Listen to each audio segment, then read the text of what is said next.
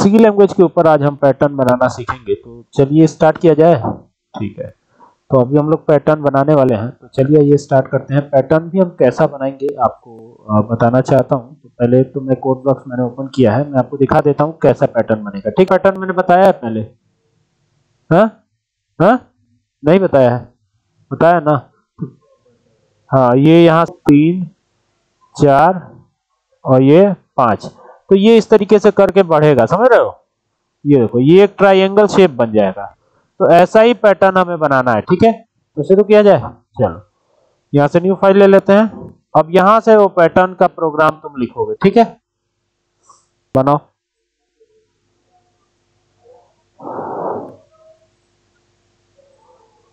Good आगे?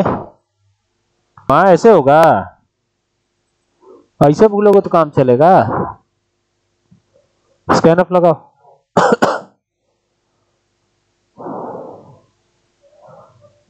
Percent d, comma, address of c. Terminate करो। आप फॉर लूप लगाओ। For a is equal to one,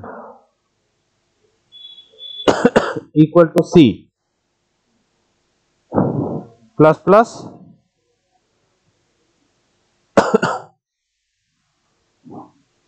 Loop की body curly bracket से बनेगी, एक और लूप लगेगा। ठीक है? प्लस प्लस हो गया? लूप की बॉडी बॉडी कर्ली ब्रैकेट से बनेगी, और स्टार प्रिंट करा दो। प्रिंट हाँ? ठीक तो है, चलो ना। ठीक है, वैसे भी आ जाएगा। स्टार प्रिंट कराओ।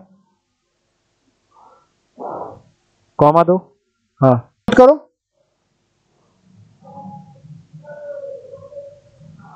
बंद करो एक ब्रैकेट। और हर बार लाइन चेंज होगी ना तो प्रिंट एफ़। बैकस्लैश एन दे दो। बंद करो। हो गया। चलाओ इसको। बिल्ट पे जाओ बिल्ट पे। रन आया enter the number of rows यहाँ पे फाइव एंटर करो। छोटा एंटर करो। देखो बन रहा है ना?